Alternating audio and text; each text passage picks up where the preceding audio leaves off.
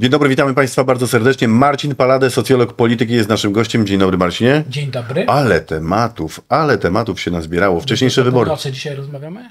Do północy, jak dużo tematów. Czołem Wielkiej Polsce, powinniśmy się Nie, przywitać. uśmiechnięte. A uśmiechniętej A, Polsce. no, skoryguj, skoryguj. Czołem uśmiechniętej po 15 Polsce. października wolną zastępujemy uśmiechniętą. Niektórzy mówią, że Polska pięknie się śmieje, ale to jest Polska uśmiechnięta i bezzębna, niektórzy mówią, ale to jest zły element. Jak ci się żyje w tej uśmiechniętej Polsce? Tylko nie krytykuj za bardzo, bo nie opłaca się. Inaczej. Troszeczkę inaczej. Inaczej.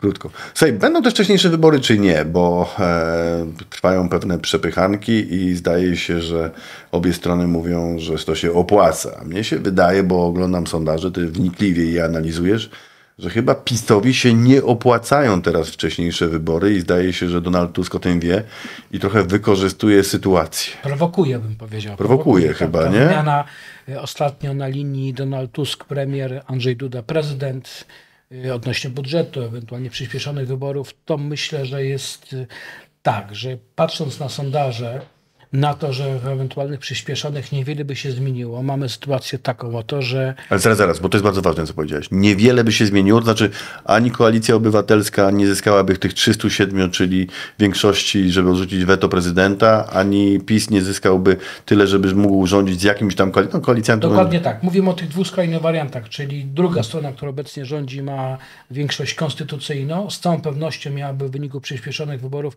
większość pozwalającą na odrzucanie weta prezydenckiego. To jest ostatni atut w tej chwili. Ale mieliby według Prawa i ciebie? Oczywiście, że tak, dlatego że Czyli Prawo i Sprawiedliwość przegrałoby na tych wcześniejszych wyborach. Yy, Zdecydowanie tak, w tym sensie, że prawdopodobnie spłaszczyłaby się różnica między Koalicją Obywatelską a Prawem i Sprawiedliwością, jeśli chodzi o wynik w ujęciu procentowym, ale mandatowo to byłoby może 15, może 20 mandatów mniej. Dlatego, że trzecia droga by zyskała? Yy, Trzecia droga zyskałaby, bo to widać po sondażach, oni mają wyższy wynik o 2-3 punkty procentowe w stosunku do wyborów z 15 października. Lekka też jest poprawa notowań yy, lewicy i to wszystko ma przełożenie yy, w okręgach wyborczych, dlatego że w, w kilku, kilkunastu z całą pewnością ta obecna większość mogłaby zyskać dodatkowe mandaty, tym samym, tak jak powiedziałem, pozbawiając PiS ostatniego atutu, który mają, oprócz prezydenta oczywiście, ale co do prezydenta, to wiemy, że tu są głosy PiSie podzielone, bo niektórzy już są na granicy tego, że będzie to w sumie agent drugiej strony, agent Donalda Tuska. Natomiast w ujęciu mandatowym to byłaby strata, która by powodowała, że reprezentacja rzędu 160-170 y, posłów, no to była cały czas liczebnie duża, natomiast bezwartościowa, w sensie każde weto prezydenta Dudy przez najbliższe półtora roku byłoby odrzucane przez większość sejmową. Czyli Tuskowi możemy doradzić Tusku, Tusku, rób wcześniejsze wybory, a Kaczyńskiemu możemy doradzić Kaczyński, Kaczyński, absolutnie tego nie rób. Znaczy, w ostatnich dniach słyszałem kilka wypowiedzi prezesa Kaczyńskiego i niektórych liderów PiSu yy, rozważających wariant yy, tego, żeby pójść w kierunku przedterminowych wyborów. I zastanawiam się nad tym, czy suflują to ci sami badacze, ci sami analitycy, którzy kreślili wizję samodzielnej większości dla PiSu w wyborach 15 października. Ty chyba odnoszę wiesz- takie ty wrażenie, chyba coś więcej wiesz, się- niż mówisz. Delikatnie się uśmiechamy, nie będziemy posługiwali się nazwiskami, przyjdzie na to czas, ale odnoszę wrażenie, że zaplecze analityczne, badawcze na Nowogrodzkiej jest bez zmian, bez rozliczenia tych fakapów, które były i które, których zwieńczeniem były wyniki 15 października, a to oznacza, że prezes Kaczyński, lider największej partii politycznej, nie ma dobrego oglądu sytuacji w Polsce. Marcinie, to powiedzmy coś, co wiemy, a czego jeszcze nie mówiliśmy. Otóż e, Nowogrodzka miała informację przed wyborami, że właściwie mają zdecydowanie większość, że mają 41%, a niektóre badania, którymi posługiwała się Nowogrodzka w takim ujęciu e, mniej publicznym, mówiły, że mają mieć nawet większość konstytucyjną. No tak było, ty słyszałeś przecież o tym, ja też słyszałem.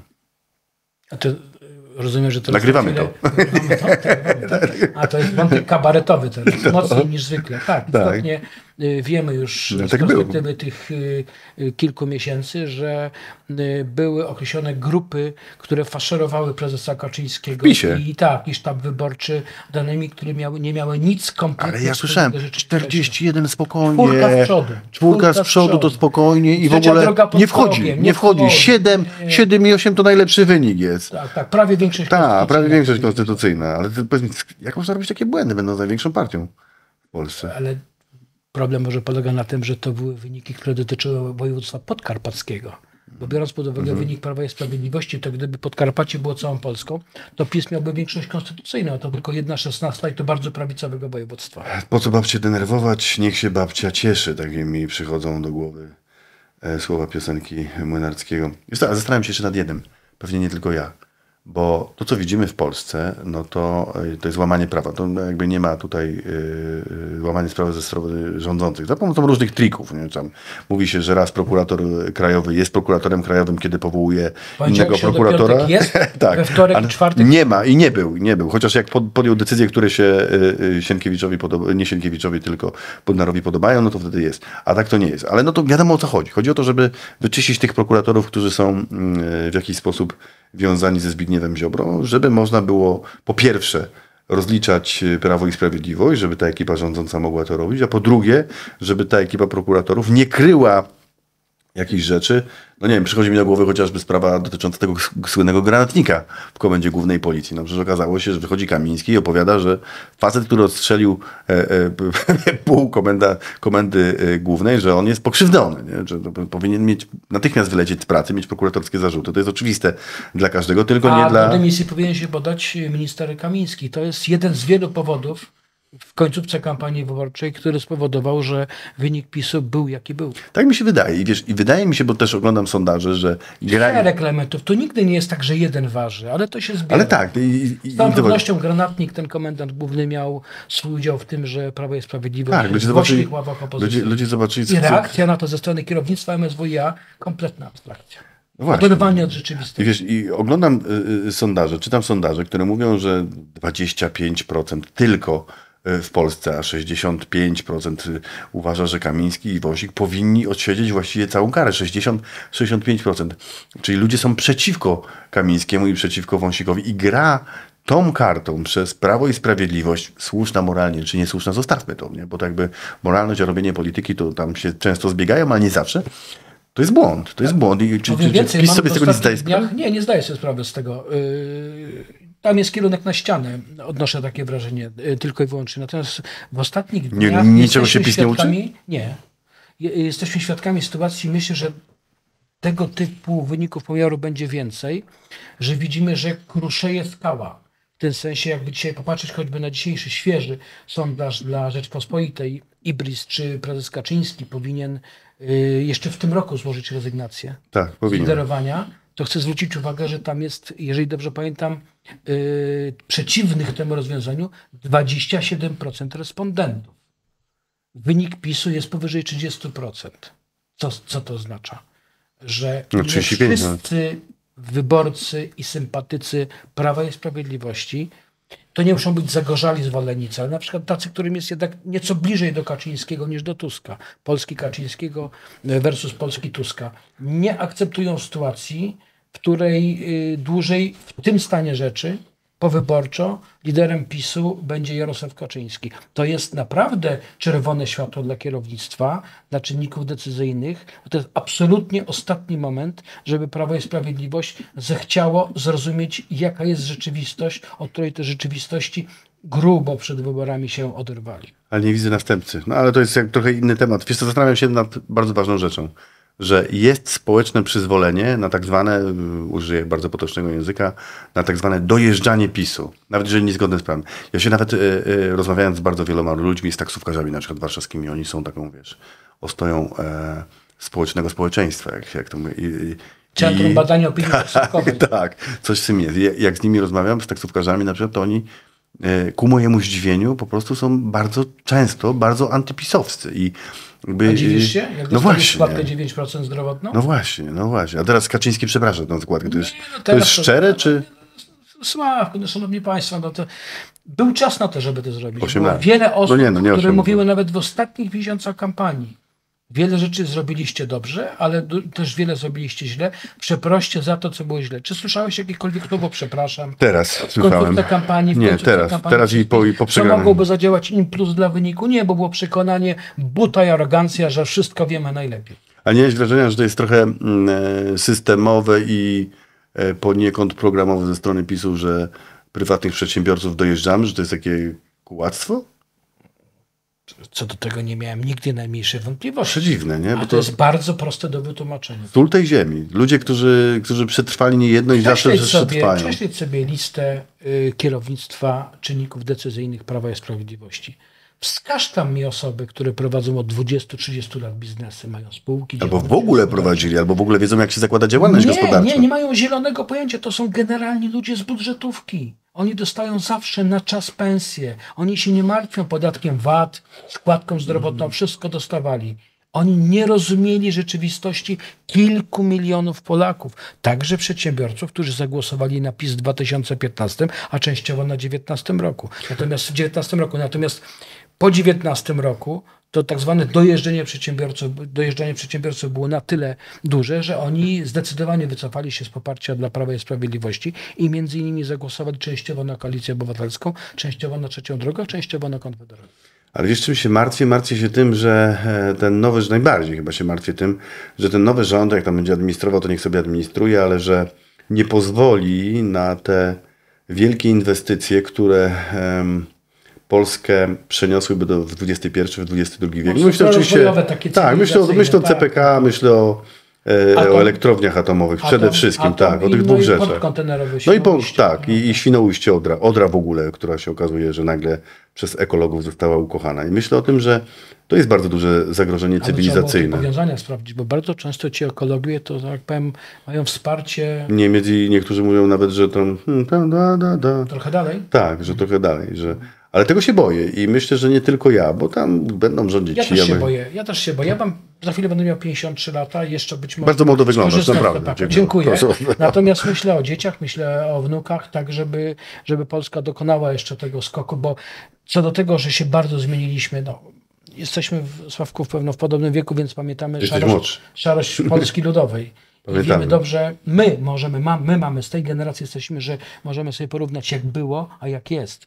Pewnie mogłoby być Jest jeszcze dużo, lepiej. jest dużo, dużo lepiej. Dużo lepiej, natomiast chcemy, Jesteśmy żeby było jeszcze bardziej. Nie chcemy, żeby się to zatrzymało, dlatego że właśnie myślimy o tych generacjach, które dopiero przyjdą, nasze dzieci, wnuki, prawnuki. I z całą pewnością te trzy, o których powiedziałeś, kluczowe inwestycje są bardzo ważne. Moim zdaniem atom y, się utrzyma ze względu na Amerykę. Ale na Koreę już nie. No jak ktoś tam będzie za bardzo podskakiwał, to ambasador Marek Brzeziński zaprosi na kolację i wytłumaczy. I nawet jak trzeba. będzie nowy prezydent Trump, to też przyjdzie To tym bardziej nowy ambasador, dociśnie, ale też zaprosi żeby chyba, nie żeby... było, żeby nie było y, powtórki z tego, co było, czyli w 14 roku pamiętasz Sawa i Przyjaciele 2.0, żeby nie było Nie, ja pamiętam, ja pamiętam Grada, który mówił, obiecywał, że w 2023 będzie działała Pol w Polsce. Co do portu kontenerowego w Świnoujściu, to jest szansa, że mimo tych ogromnych nacisków Berlina, bo to oznacza duże problemy dla przede wszystkim Hamburga, nie?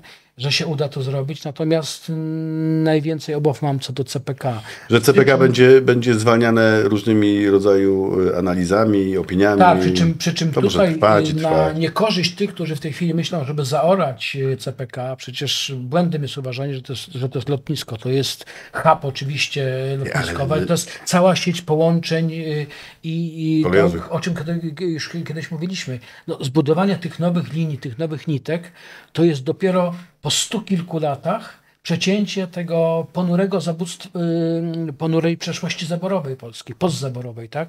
Że mieliśmy bardzo dobrą sieć kolei do dzisiaj w części tej zachodniej, gdzie był zabór pruski, w miarę w części galicyjskiej, no i no, ogromne dziury, jeśli chodzi o yy, były zabór rosyjski. Natomiast z tym CPK jeszcze jest taki czynnik, że ci, którzy dzisiaj mówią, a może to jakoś się uda przeciągnąć, a potem zaorać, nie biorą pod uwagę jednej sytuacji. Jeżeli mocno skomplikuje się sytuacja geopolityczna, jeżeli Rosjanie sobie poradzą z Ukrainą, w tym sensie, że Ukraina tę wojnę przegra, będzie jakiś zgniły kompromis, z całą pewnością Rosja się nie będzie chciała zatrzymać, będzie szła dalej yy, na zachód. Ja, nie mówię o tej drodze takiej, że tak powiem, wojennej, bo to mogą być różne formy oddziaływania Rosji. Ale ekonomiczne, bliską zagranicę, ekonomiczne. Tak. No, to, no to przecież my Nord jesteśmy 2 ruszy. wschodnią flanką, największym krajem w tej części tak, yy, NATO i może się okazać, że tutaj Amerykanie, biorąc pod uwagę, że CPK ma swoje przeznaczenie cywilne, ale ma też przeznaczenie wojskowe, o czym przecież co niektórzy Amerykanie to mówią. przeciwników chcą zapomnieć. I jeżeli sytuacja by się geopolityczna skomplikowała, to nie wykluczam, że pan ambasador Marek Brzeziński zapraszałby nie tylko w sprawie atomu, ale drugą częścią rozmowy w trakcie kolacji byłaby kwestia CPK. Marcinie, czekają nas wybory samorządowe w kwietniu, na początku kwietnia. E, Czy PiS ma w ogóle szansę? Wydaje mi się, że te kroki, te mm, Platformy Obywatelskiej, te bardzo ostre kroki, wbrew pozorom mogą im dać większe szanse PiSowi. Mylę się? Myślę, że utrzymają tą twardą bazę wyborczą. Czyli co, dwa, trzy sejmiki? Tylko musimy brać pod uwagę, że przecież jest pewien punkt odniesienia. Są nim wybory w 2018 roku, gdzie PiS dokonało bardzo dużej progresji, bo przypomnę, że tylko z jednego województwa podkarpackiego nie tylko y, przeciągnął na swoją stronę większość województw centralnej i wschodniej Polski z wyjątkiem Mazowsza, ale przejęło też władzę jednym głosem na Śląsku, już nie, bo wiadomo, że tam była przewrotka y, w, Sejmiku, ale też rządzi do dzisiaj y, w Dolnośląskim. No wyobrażasz sobie, ten wynik, którego się spodziewam w granicach 30-32%, jesteśmy, mogę tylko zdradzić, jestem już w trakcie bardzo szczegółowych wyliczeń i pewno w weekend zrobię prezentację sytuacji w każdym z sejmików, ale, ale mogę zdradzić, że z tych wyliczeń wynika, że y, jeśli PiS miałoby właśnie ten wynik na poziomie 30-32%, to Podkarpacie jest do utrzymania i cień szansy walki o lubelskie i świętokrzyskie a Białystok? Nic? a w Białymstoku możemy mieć pad albo PiS może przegrać jednym mandatem większość.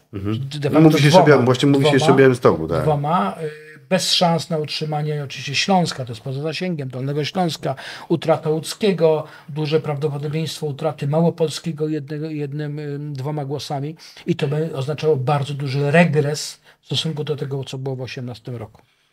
A powiedz mi, czy jest możliwe, że e, Prawo i Sprawiedliwość zyska jakieś duże miasto? Na Warszawę nie ma szans. Nie. Nie? Nie, Żadnych dużych miast? żadnych, żadnych średnich miast. Czyli dla y, wyborców dużych musi wielkomiejskich to się modlić, żeby utrzymać siara taka, tak? Wolę, utrzymać Chełm, tak? Utrzymać Zamość. Czy nie udaje się pozyskać młodych wielkomiejskich ludzi? Nie, absolutnie Dlaczego powiedz? No ale w tej formule, no Sławku, jeżeli nie udało się to w 2018 roku, a przypomnę, że PiS był na fali po 15 roku jako formacja bardzo szerokiej centroprawicy, czyli moż, z możliwością oddziaływania także na wyborców mniej prawicowych. Ale im dalej od wyborów w 15 roku, tym PiS się zawęża wyłącznie do tego, żeby operować, komunikować się z twardymi wyborcami. Tym bardziej po wyborach po 15 października widzimy, że PiS jest zamknięty w bańce i trafia wyłącznie do najtwardszych wyborców. No to ci najtwardsi w wielkich miastach to nawet nie jest te ogólnopolskie 30 kilka procent. To jest takie w Warszawie może 20, może 22, może 23 procent. I na tyle na przykład może liczyć kandydat PiSu w wyborach prezydenckich. A Marcinie, jak czytasz decyzję e, Donalda Tuska, który mówi, że najpierw zaprasza lewicę do mm, rozmów e, dotyczących wspólnych list samorządowych, a potem oznajmia, koalicja idzie sama i lewica tak trochę nie wie, co się wydarzyło. Nie? I e, ja to czytuję tak, że lewica chyba zostaje e, albo zostanie wkrótce zjedzona przez Donalda Konsumpcja Tuska, już się odbywa, ponieważ, już się odbywa, już ponieważ odbywa. Mhm. y, jakby prawo, y, Platforma Obywatelska przejęła te najważniejsze hasła lewicy, czyli No, pierwszy dotyczące... krok konsumpcji Sławku już się odbył. Przypomnę, że Tabletka 15 po. października, 15 października, przyglądając się wynikom Exit Poll, widzieliśmy, że co najmniej co czwarty wyborca lewicy z 2019 roku przerzucił swoje głosy na koalicję obywatelską. Stąd wynik ponad 12% w 2019 roku w zestawieniu z, z niecałymi niecałymi osłon- 9% głosów w 2023 roku właśnie pokazuje, że poszły przepływy, bo koalicja obywatelska przesunęła się bardziej na lewo. A to Koalicji Obywatelskiej nie zaszkodzi jako Hadecji, że powinni być bardziej konserwatywni? To ja bym zapytał tak, a ta chadecja europejska to taka centroprawicowa? Nie, to właśnie mam problem z tą Hadecją, bo ona przestała być Hadecją. No, nie- nie- Chadecy, tam już chrześcijaństwa uwierz, nie ma. Chrześcijańscy demokraci we frakcji chrześcijańskiej demokratycznej należą do bardzo wyraźnej mniejszości. Dobrze, a powiedz mi, bo e, widzę... To tylko odpowiem, jeśli chodzi o koalicję. Sk- Skąd taka decyzja, moim zdaniem, Donalda Tuska. Y, Trzeba wziąć pod, uwagę jeszcze jeden podmiot, istotny, trzecią drogę. Że? Że oni mogą mieć wynik do sejmików w granicach 19-20%. Co ty mówisz? Tak, tak, tak. tak. Y, To by oznaczało, że y, gdyby Koalicja Obywatelska poszła razem do wyborów z lewicą na poziomie sejmików, to być może część mniej lewicowa, taka cały czas jest w Koalicji Obywatelskiej, bardziej centrowa, mogłaby się zdecydować na przerzucenie głosów na trzecią drogę. W efekcie mielibyśmy sytuację, w której wynik Koalicji Obywatelskiej i Lewicy wcale nie musiałby się zbytnio różnić na plus podsumowaniu poparcia jednych i drugich. Czy innymi słowy, dodanie lewicy do koalicji obywatelskiej wcale nie musiałoby oznaczać dużego wystrzelenia w sondażach i wyraźnego wyprzedzenia Prawa i Sprawiedliwości, ale mogłoby spowodować, że y, trzecia droga przebija w wyborach sejmikowych 20% i wtedy robi się różnica bardzo niewielka między połączonym wynikiem lewicy i koalicji obywatelskiej i trzeciej drogi. To z kolei miałoby swoje reperkusje, jeśli chodzi o wewnętrzny układ w koalicji. A wiesz co, czy y, abstrahując od y, wyników y, badań, od sondaży, to myślę sobie zupełnie intuicyjnie, że wyborca trzeciej drogi i 2050 i PSL-u może być nieco zawiedziony, bo myśli sobie tak, może sobie myśleć tak, Przecież głosowałem na to, żeby było inaczej. Głosowałem na to, żeby było pośrednie. A, a oni, czyli Hołownia przede wszystkim, okazuje się być najtwardszym żołnierzem Tuska. Zdecydowanie za wcześnie. Ale to masz, wiesz, pamiętaj, że ci wyborcy nie po dwóch stronach barykady tam ze strony Prawa i Sprawiedliwości, Koalicji Obywatelskiej, czyli ci bardziej pośrodku, tak jak Trzecia Droga, to nie są ludzie, którzy codziennie y, oglądają wszystkie programy informacyjne, publicystyczne, interesują się polityką. W dużej mierze oni zostali pobudzeni do tego, żeby pójść zagłosować, oddali głos i teraz oni będą A Hołownia Hołownia im się podoba, bo jest y, showmanem. Ale pani marszałek Witek jest, jak powiem, bardziej taki otwarty, bardziej, nie, no jest bardziej, to powiedzmy. I teraz tak, oni będą oczywiście dokonywali stopniowo analizy tego, czy zrobili dobrze 15 października. Ale jak słyszę niektórych polityków Prawa i Sprawiedliwości, którzy mówią, nie, to już jest teraz, to już na pewno oni są zawiedzeni, na pewno przejdą do nas, to ja mówię, nie. To może być proces, który będzie odłożony w czasie, to mogą być miesiące być może jakieś pogorszenie sytuacji ekonomicznej w drugiej połowie roku mogłoby trochę spowodować korektę z ich strony, ale liczenie na to, że oni teraz genialnie wróciliby do PiSu, który jest niereformowalny od wyborów, czyli jest nieakceptowalny poza twardymi wyborcami, to jest jakaś abstrakcja. Bardzo ważna rzecz, która nas czeka jeszcze w tym roku. Wybory europejskie. Myślę sobie, że znaczy jakby dwa aspekty. Aspekt numer pierwszy, że gdyby Wąsik i Kamiński startowali nawet z Warszawy, to pewnie się dostaną. Tak mi się wydaje, ale znowu intuicyjnie, jeżeli coś to mnie... Z Warszawy i Mazowsza. Z Warszawy i Mazowsza, tak. tak. Jeżeli coś to mnie skontruj, e, to po pierwsze. A po drugie jestem bardzo ciekaw swojego zdania dotyczące tego, że chyba, bo tam czytam o tym, że von der Leyen zagrożona i zdaje się, że w Europie chyba się trochę zmienia, w tym sensie, że ta liberalna demokracja lewicująca bardzo która ma rząd dusz, jest już y, przez dużą część europejskiego społeczeństwa postrzegana negatywnie pod tytułem wy jesteście zagrożeniem. Jesteście zagrożeniem dla naszych portfeli przez y, Fit for 55 i jesteście zagrożeniem dla naszego bezpieczeństwa przez imigrantów. Mylę się czy nie? Tysiące ludzi są na ulicach w Niemczech czy Francji, przecież są olbrzymie protesty, które generalnie w establishmencie medialnym, tym systemowym, no jest bardzo cicho. A wiesz dlaczego? To jest niesamowite. To jest niesamowite, że ci lewicujący... Tak. Nie no, o Teksasie, ale tak wiesz. Słyszałem wtedy, kiedy sam musiałem e, mocno tak poszukać. Nie, nie, Tak to nie ma. Czyli okazuje się, że mamy cenzurę. Do tego zmierzasz. Tak. Mamy cenzurę i to twardą cenzurę pod tytułem nie informujemy o czymś, co może nam zaszkodzić. Tak wygląda wolność słowa. Są analityczne, które wyliczają... Ja też zliczam w każdym y, kraju, jak mogą wyglądać y, preferencje, jak to się może przełożyć na mandaty do Parlamentu Europejskiego. I to, co jest zauważalne, to są dwa elementy, na które bym zwrócił uwagę w tych wyborach, które nas czekają w czerwcu. Po pierwsze, ta centrolewicowa koalicja, która rządzi Europą, eurochadeków, eurosocjalistów, euroliberałów, może nie dysponować większością w nowym rozdaniu. W tej chwili to jest około 60% mandatów, ale na tyle zmieniły się preferencje Europejczyków w ciągu pięciu lat, że w siłę mogą rosnąć przedstawiciele zasiadający w dwóch frakcjach.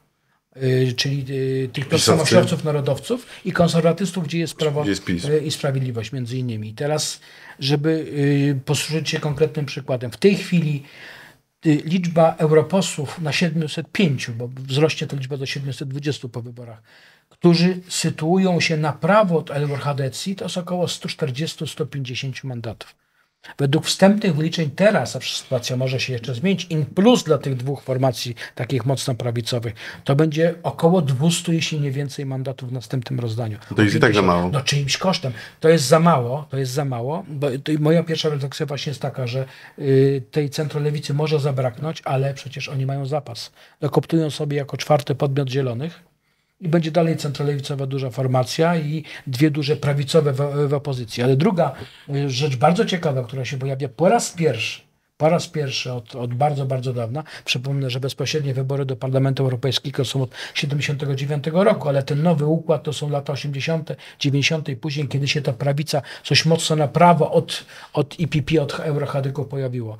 Po raz pierwszy mamy taką sytuację i to z tych wyliczeń różnych wynika i, i ja to potwierdzam, że gdyby Eurochadecja chciała zrobić porządek w postaci, że tak powiem, bardziej swojego prawicowego oblicza i zwrócenia się na prawo, to już dzisiaj, gdyby podsumować prognozowane mandaty dla Eurochadecji, dla suwerenistów, dla konserwatystów i takich wolnych elektronów prawicowych typu Fidesz, który jest niezwiązany z żadną frakcją, to na dzisiaj to też jest ponad 50% mandatów.